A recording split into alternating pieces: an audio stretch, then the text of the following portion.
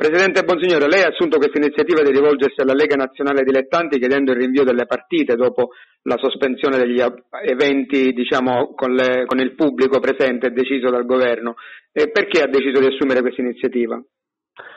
Sì, dopo, in effetti è vero, dopo la decisione del governo centrale di sospendere diciamo, tutte le, le, le, partite di calcio e quindi tutte le manifestazioni sportive eh, per un periodo di tempo adesso limitato fino, certo, fino al 3 aprile credo, ma poi magari potrebbe anche essere più lungo,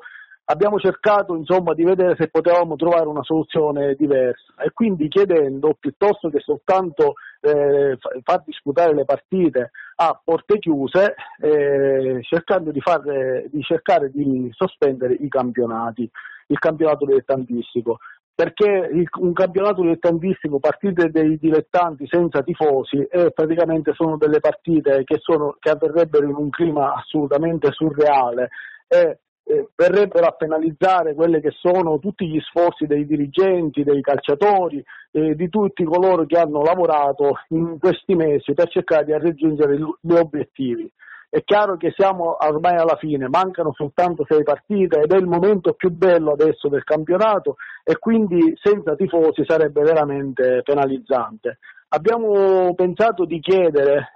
alla,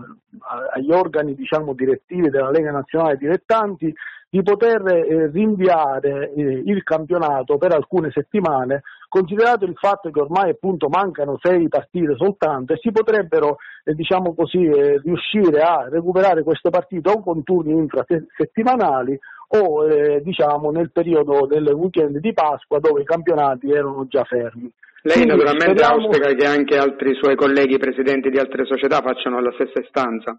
Ovviamente abbiamo diramato questo nostro comunicato sperando che anche gli altri nostri colleghi delle altre, delle altre eh, diciamo, società sportive potessero accoglierlo, perché se tutti assieme eh, diciamo così, presentiamo questa nostra domanda, il, gli organi diciamo, che, eh, che di, di, governo potrebbero prenderla in considerazione e davvero eh, discuterne sul serio. Noi pensiamo che questi campionati dilettantistici eh, che non hanno riprese televisive, che, vi- che, vivono soltanto della passione dei tifosi, anche perché i tifosi, noi abbiamo costruito soprattutto la nostra squadra proprio per coinvolgere i tifosi e per coinvolgere tanta gente eh, e non nascondiamo che ci danno davvero tanto aiuto sia dal punto di vista sportivo ma anche e soprattutto dal punto di vista finanziario eh, noi eh, speriamo insomma di potervi avere sempre vicino, soprattutto nei momenti più importanti della, della stagione.